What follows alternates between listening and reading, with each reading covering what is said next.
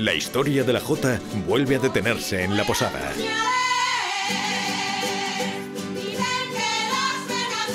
Esta semana recreamos las coplas zaragozanas del siglo XIX y repasamos la vida de la Dolores, reina de la copla maldita. La Posada de las Almas, este domingo en Aragón TV.